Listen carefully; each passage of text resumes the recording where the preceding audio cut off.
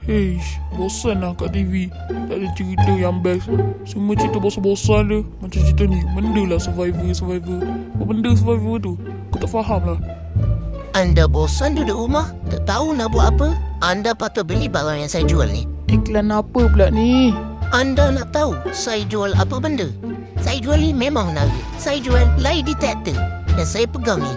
Lie detector ni, kalau ada orang penipu, dia boleh detect orang tu sama ada betul atau tidak. Ui, macam menarik eh. Boleh lah aku order satu benda ni. Ha, tu pun. Awal sangat barang tu sampai. Nak pergi ambil lah kotak tu. Ya. Ya, ha, ni kotak tu. Anak aku balik sekolah nanti, boleh lah aku try kat dia main sen ni. Yes, aku dapat beli. Ish, penat aku jalan sampai rumah juga. Assalamualaikum. Eh, kejut saya ya. Dah kenapa ayah duduk depan pintu macam ni? Macam tak betul je.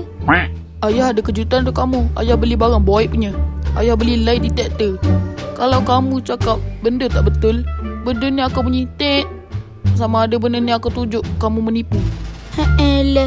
Ayah, cuba tanya soalan kat saya. Tadi kamu pergi sekolah ke? Ke kamu pergi jalan-jalan? Mestilah pergi sekolah. Ha, kamu tipu ayah. Cuba cakap betul-betul.